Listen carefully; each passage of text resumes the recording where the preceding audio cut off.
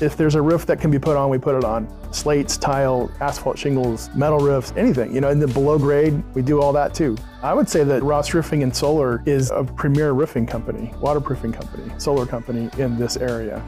The reason why you want to hire a licensed and insured professional roofing contractor is because every year there's five to 10 people coming in to the market and every year there's five to 10 people going out of business. If you go with someone that's got a full 25, 30 year track record, they've seen it all, and we've got 72 years.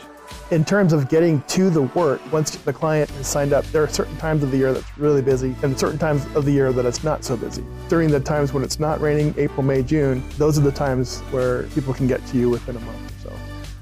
We like to be able to respond from Big Sur all the way up to Santa Cruz, and we'll go to parts of Hollister and Watsonville, you know, along the way.